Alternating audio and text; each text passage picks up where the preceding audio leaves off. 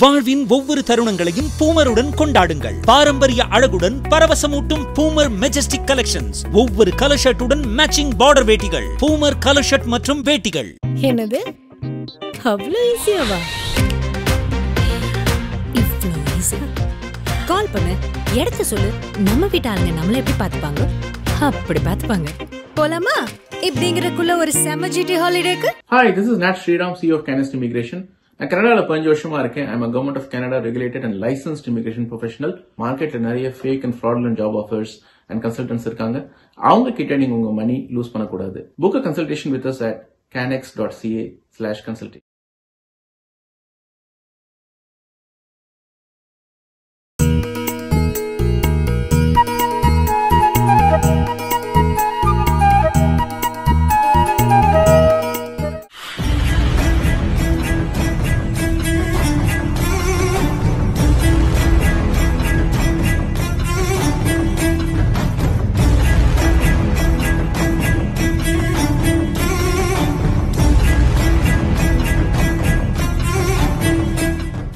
இந்த படத்துக்கு அப்புறம் நீங்கள் எடுத்த படம் வந்து விஐபி பிரபுதேவா ஹீரோவை போட்டு அந்த படம் எடுக்கணுன்ற எப்போ? இல்லை இல்லை. அவங்க அப்பா ஒரு நாள் சபரிமலை மாலை போட்டுன்னு வந்தார். வந்து நேராக ஆஃபீஸ் வந்தார். சார் பிரபு வச்சு நீங்கள் ஒரு படம் பண்ணோம் மாஸ்டர் இது நான் அவன் நம்பர் ஒன்னாக இருக்கிற பிரமாதமாக நான் போய் எடுக்கணும்னு நீங்கள் சொல்ல தாராளமாக எடுக்கிறேன் மாஸ்டர் அப்படின்னு சொல்கிறேன் ஓகே அப்படின்னு சொல்லிட்டு பண்ணுறோம் பண்ணும்போது திருப்பி ஒரு ரெண்டு மாதம் பொறுத்து வந்து தானே சார் ஏவிஎம்க்கு வந்து ஒரு ஐம்பது அறுபதாவது வருஷத்துக்கு படம் பண்ணணுன்றாங்க. நீங்கள் உங்கள் தேதியை விட்டு குத்திங்கன்னா அவங்கள எடுக்க சொல்கிறேன் இல்லைன்னா நீங்கள் எடுத்துங்க இல்லை பெரிய நிறுவனம்.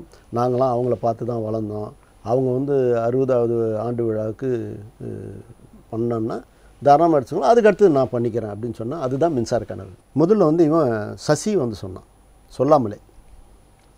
அந்த கதை எங்களுக்கு பிடிச்சி போய் உடனே இவர்கிட்ட பிரபுதேவாகிட்ட அனுப்புகிறேன் பிரபுதேவா கேட்டு சூப்பராக இருக்குது சார். நம்ம பண்ணிடலான்னு எல்லாம் ரெடி பண்ணியாச்சு. இவன் ஒரு ஒரு டிசைன் பண்ணி எடுத்துன்னு போய் என்கிட்ட காமிச்சான். கவிதைன்னு போட்டு மேலே வந்து சசி அருண்டேல் கீழே கலைப்புலிதான்னு போட்டிருந்தான். சரி ஆசையெல்லாம் ஆசை போட்டுக்கிறான்னு நான் என்ன பண்ண நல்லா இதுப்பான்ட்டு கொடுத்துட்டேன். சரி பண்ணிக்கலாம் அப்படின்னு. இதை எடுத்துன்னு போய் பிரபுதேவட்ட காமிச்ச உடனே பிரபுதேவை பார்த்துட்டு எனக்கு ஃபோன் பண்ணி சார் வளர்றதுக்கு முன்னாடியே அவன் பேரை மேலே போடுறான் சார். இவன் வளர்ந்தான்னு என்ன பண்ணுவான்? வேணாம் இவன் வேணான்றார். அப்படிலாம் இல்லைப்பா ஆசையெல்லாம் சொல்கிறான் அவன் ஆசைப்படுவான். நீ விட்டுடுன்ற நான் பார்த்து முடியவே முடியாது நான் பண்ண மாட்டேன். நீங்கள் வந்து வேற ஒரு ஹீரோ போட்டு போட்டீங்க என் பேரை இறக்கிட்டான்றதுக்காக நீ பண்ண மாட்டேன்னு சொன்னால் நான் எப்படியா பண்ண முடியும்? நல்லா இருக்காதுன்னு சசியை கூப்பிட்டு சசி ஏன் சசி இந்த மாதிரி பண்ண? நீ எப்படியாவது கன்வின்ஸ் பண்ணு அவனை அப்படின்ற. அங்கே போய் அவன் கன்வின்ஸ் பண்ணுறான் பிரபு வந்து பிரபுதேவா வந்து சார் எத்தனை கன்வின்ஸ் பண்ணாலும் நான் ஒத்துக்க மாட்டேன் சார்ன்றான் அப்போ நான் பண்ணது வந்து பிரபுதேவா வந்து லிவிங்ஸ்டன் கேரக்டரு கௌசல்யா கேரக்டர் ஐஸ்வர்யா ராய். நீ எப்படி இருக்கும் பார். அந்த மாதிரி வச்சுருந்தேன் திடீர்னு இந்த மாதிரி சொன்ன உடனே அதுக்காக கூப்பிட்டு டிஸ்கஸ் பண்ணி நிறையா செலவெல்லாம் பண்ணிட்டேன். அவனுக்கு தனியாக வந்து திருவிக்கா பூங்காவில் அப்பார்ட்மெண்ட்டை கொடுத்து ஒரு பெரிய நண்பருடைய இதுவை கொடுத்து பண்ணிருந்தேன் அதுக்கப்புறம் வந்து பையன் வந்து சார் இந்த மாதிரி சவுத்ரி பண்ணால் பரவாயில்லையா சார்? நீ நல்லா இருவே இந்த படம் ஜெயிக்க நீ போயிட்டு வான்னு. நீ கேட்டு பாரு. ம். எந்த பணமும் நம்ம பண்ண செலவுல எதுவும் வேணாம். நீ அப்படியே இருந்துக்கோ. நீ நல்லா வருவ ஜெயிப்ப. முதல்ல அப்படின்னு சொல்லாமலே கதை நீங்கள் பண்ணுறதா ஆமாம் பண்ணது. அதுக்கு அடுத்தது வசந்த். வசந்த் பிரபுதேவா ஃபிக்ஸ் பண்ணி பண்ணிங்கன்னுச்சு சரின்னு வசந்துக்கு பேசுகிறேன் அப்போ அவர் வந்து நம்ம ரிதம் பண்ணின்னுக்கிறான். கவிதாலய நடராஜன். அப்போ வந்து ஒன்று பேசினோடனே அப்போ நான் கேட்டேன் ஆறு மாதத்தில் முடிச்சிடலாம் இல்லையா? சார் டேட்டு மாத்திரம் ஃபிக்ஸ் பண்ணிடாதீங்க. எனக்கு அதுதான் டென்ஷன் அப்படின்னுச்சு. ஒரு ரெண்டு நாள் பொறுத்து சொல்கிறேன்னு ரெண்டு நாள் வந்து சார் இந்த ஆறு மாதத்தில் பண்ணணுன்றதுலாம் முடிவு பண்ணிட்டாதீங்க சார். அது மாத்திரம் எனக்கு டென்ஷன் ஆகிடும் சார். அந்த டைம் மாத்திரம் டைம் இல்லாத கூட.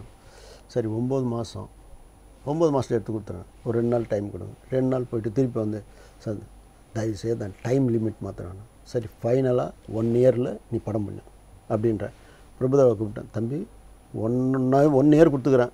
ஒன் இயருக்கு முடியாதுன்னா நான் முடியாதுப்பா. இல்லை இல்லை சார் ஒன் இயர் என்னால் முடியாது சார். ஆறு மாதம் தான் சார் என்னால் முடியும் அப்படின்றார். பரவாயில்ல ஒன் இயர் டைம் கொடுத்தாச்சு. நீ கீப் அப் பண்ணலாம். மறுநாள் வந்து ஒன் இயர் சொல்ல முடியாது சார். டைம் சொல்லாதீங்க. நான் படம் நல்ல முறையில் எடுத்து தரேன். ஆனால் டைம் அது இல்லைப்பா தயவுசெய்து நான் மாற்ற தான் வேணும். ஒன் இயர்க்குள்ளே நீ எடுக்கலைன்னா எனக்கு வட்டி ஆகிடும் அதனால் ஹீரோவும் வேணான்ற அளவுக்கு இருக்கிறாரு. நீ பார்த்துக்கணும் இல்லை சார் அந்த ஒன் இயருக்குள்ளன்றது ஃபிக்ஸ் பண்ணாதீங்கன்ட்டு போனார். அதுக்கப்புறம் தான் சபா. சபா வந்து வந்தான் வந்தவுடனே முதல் ஸ்டிங்குன்ற ஒரு கதையை வச்சு தான் ஆரம்பிக்க சொன்னோம். அதுக்கப்புறம் மணிவண்ணெலாம் உள்ளே வந்து அருமையான கதையாக வந்தது. கிளைமேக்ஸ் மாத்திரம்தான் கொஞ்சம் மிஸ் பண்ணாங்க. பிரமாதமாக இருந்தது. அது அதாவது அதில் வந்து வந்ததே லக்கு வந்ததேன்னு ஒரு செட்டு அப்போ நாற்பது லட்சம்ன்றது சாதாரண தொண்ணூற்றேழில் நாற்பது லட்சம் செட்டு போட்டு எடுக்கிறேன். எடுத்து பார்த்தா படத்தில் மூணு நிமிஷம் தான் சாங் வந்ததே லக்கு வந்தது மூணு நிமிஷத்துக்கு நாற்பது லட்சம் செட்டு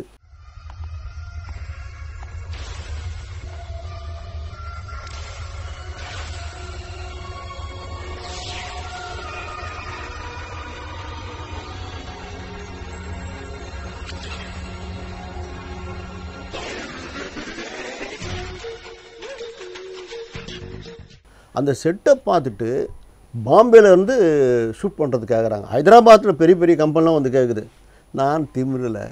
உடடான்னு உடடா நம்மளுக்கு பேர் வரும். உட யாருக்கும் கிடையாது. ஒன்ஸ் அவ்வளோதான் இது விட்டு வாடகை சம்பாரித்து சம்பாதிக்கலாம் வேணாம். வெட்டுறான் தூக்குடான்ட்டு. அதில் வந்து முதல்ல வந்து ஆக்சுவலாக பார்க்க போனால் சிம்ரன் ரோலுக்கு வந்து லைலா தான் பண்ண வேண்டியது.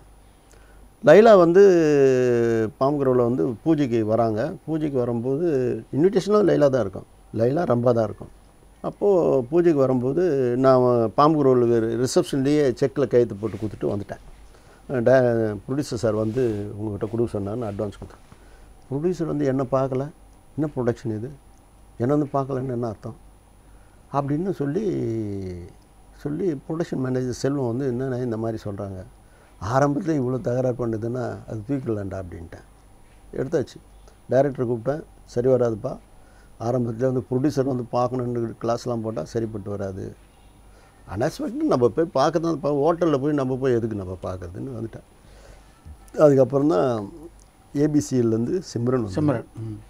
சிம்ரன் வந்து பண்ணி இன்றைக்கி இன்றைக்கி அது ஒரு பதினஞ்சு வருஷம் இண்டஸ்ட்ரி கல கலக்குன்னு கலக்கிச்சு அந்த படத்தினுடைய இயக்குனரான சபாவை பற்றி சமீபத்தில் கூட நீங்கள் ஒரு பேட்டியில் ரொம்ப பிரமாதமாக சொல்லியிருந்தீங்க. இல்லை உண்மையில் சபா வந்து ஒரு அந்த பீரியடில் நம்பர் ஒன் டெக் டெக்னாலஜி எடுத்துன்னு வந்து அவன் இந்த பரதன்லாம் அவன் பொண்ணா சாங் மாதிரியா பண்ண முடியுமா? யாராவது? என்ன அழகாக விஜயகாந்த் எப்படி ஆட வச்சிருந்தான் அந்த மாதிரி? நகையில் மின்சாரம் பொங்க வரும் முத்தாரம் வள்ளி எடுக்க. சிவாஜியோட நீங்கள் பணியாற்றிய முதல் படம் மன்னவர் சென்னவர். சிவாஜி சாரை பார்த்ததும் சரி அவரோட பழகுனதும் சரி அவர் என்- என்- என்னை எவ்வளோ உணர்ந்திருக்கிறாரு என்னை புலின்னு தான் கூப்பிடுவார். புலி புலின்னு கூப்பிடுவார். அதுக்கு முன்னாடி சிந்திச்சிருக்கீங்களா அவரை? தூரத்தில் தான் சந்திச்சிருக்கேன். இந்த படத்துக்கு தான் முதல் முதல்ல அவர் போய் நேரடியாக போய் உட்காந்து பேசுறது. அவர் என்னை பற்றி நிறைய விசாரிச்சிருக்காரு. அப்போது அவரை பார்த்து கதை சொல்லி கதை ஓகே ஆகி ஒன்னாரு. அப்போது அவருடைய சம்பளமே அவர் வாங்கின சம்பளமே ரெண்டு மடங்கு. நம்ம ஓகே பண்ணுறோம் அதாவது பூசாரிக்காக போய் நின்ற காலம் போய் கடவுளே வந்து வரம் கொடுத்த மாதிரி அவரே வந்து ஆசீர்வாதம் பண்ணி பண்ணது. அந்த நேரத்தில் அவருக்கு உடல் சரி பாதிப்பு இருந்தால் கூட அந்த புகை மூட்டத்தில் ஸ்மோக்லேயே வந்து நடித்தது பாட்டு பாடினது. அவருக்காக நான் ஒரு பாட்டு எழுதினேன். அதாவது இதுவரைலாம் ம், பண்ணக்கூடாது. அதாவது எனக்கும் தெருப்பாடலில் நடந்த சம்பவத்தால் நான் எழுத்து பேனா எடுத்து வச்சுட்டேன். அதை தவிர்த்துட்டு அவருக்காக எழுதின பாட்டு தான் மன்னவர் சின்னவர் மனசுக்கு நல்லவர் மனசார வாழ்த்தி பாடுங்கடி எங்கள் மன்னவரை மனசார வாழ்த்தி பாடு. கல்விக்கு தந்தவர் அந்த என்னென்ன அவர் செஞ்சாதோ அல்ல சொல்லி அதுலேயே பாட்டிலே எடுத்து வந்து சொன்னேன். அவர் வந்து காரில் போகும்போது அந்த பாட்டுக்கு எனக்காக எழுதிச்சா? எனக்காக எழுதிச்சா? அப்படின்னு சொல்லியிருக்காரு. அதுக்கப்புறம் பார்க்கும்போதெல்லாம் என்ன சொல்லுவார் நீ மானாவரியாக செலவு பண்ணி அரசியல் கட்சியில் இருக்கிற அரசியல் சாக்கடை. அரசியல் புலி அரசியல் சாக்கடை. சகதி அதை தொட்டுட்டு பூசிக்காத நாரம். இங்கே வரல எட்டுவோம் இங்கே தான் ஒட்டும். அதுக்கு மேலே ஒட்டாது. பூசிக்காத நாரம். அப்படின்னு சொல்லி சில தலைவர்கள் பற்றிலாம் நியாயங்களை சொல்லி சில தலைவர்கள் நல்லதெல்லாம் சொல்லி ரொம்ப உயர்வாக அதாவது அந்த காலத்தில் அவரோடு பயணித்தவங்க பேரெல்லாம் சொல்லி பழகுனது மூணாக்கண்ணாவோட நான் இருந்தது எனக்கும் மூணாக்கண்ணாக்கும் இந்த பாத்திரக்கடை நடராஜா உதவி செய்தது இப்படின்னு எல்லார் பேரையும் சொல்கிறாரு மனசில் வச்சு பேசினார். அப்படி இருந்து பண்ணார். அவருக்கு வந்து அந்த படம் ரிலீஸுக்கு அப்புறம் நான் அடிக்கடி அவரை சந்திக்கிறது வழக்கம். திடீர்னு ஒரு நாள் வந்து ஃபோன் அவருடைய கார் ஓட்டுநர் முருகன் ஃபோன் பண்ணி ஐயா வந்து உங்களை வீட்டுக்கு வர சொன்னார் சாப்பிட்றதுக்கு அப்படின்னு. எங்கே இருக்கீங்கண்ணே தேவசிலையான்னு தான் இருக்கிறேன். அப்போ வந்துருங்கண்ணே த- ஐயா வந்து உங்களை வந்து சாப்பிட கூப்பிட்றாருன்னு. நான் நேராக வீட்டுக்கு போனால் அப்போ வந்து அவருக்கு பேஸ் மேக் வைக்கும்போது கூட இருந்த டாக்டர் துரை இருக்கிறார். சிங்கப்பூரில் லிவர் இதில் அவர் டாப். அவரும் அவரும் டைனிங் டேபிளில் உட்காந்துட்டு சாப்பிட உட்காந்துட்டாங்க நான் உள்ளே நுழைஞ்சோன்னே என்ன புளி பசியில் இருக்கிறேன் சீக்கிரமாக உட்காந்து சாப்பிடுங்கன்னா என்னை சாப்பிட வச்சார். அப்புறம் துரையை அமுச்சு விட்டாரு. அந்த இடுப்பில் வேஷ்டி அப்படி கட்டிட்டு ரொம்ப ஃபீல் பண்ணி பேசினார். புலி என்ன இருந்தாலும் மனசு வலி வந்து சாதாரண வலி இல்லை.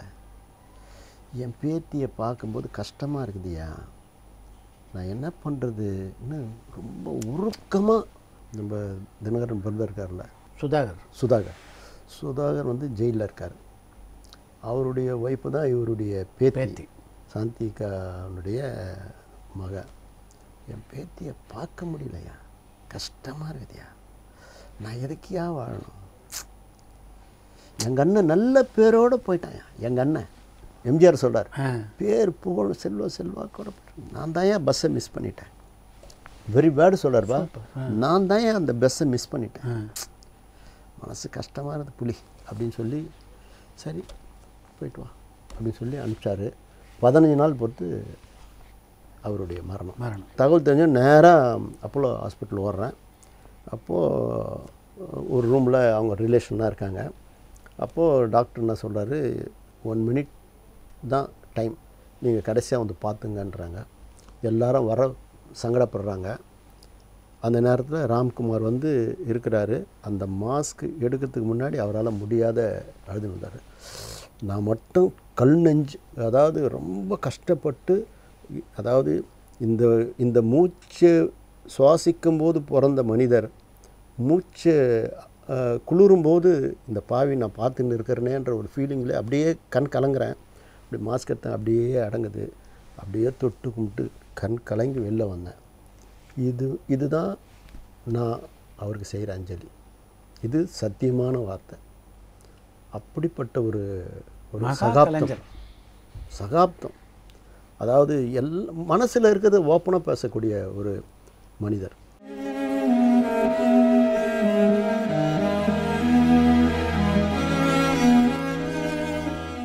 பல கமர்ஷியல் படங்களை வந்து நீங்கள் தயாரிச்சிருக்கீங்க.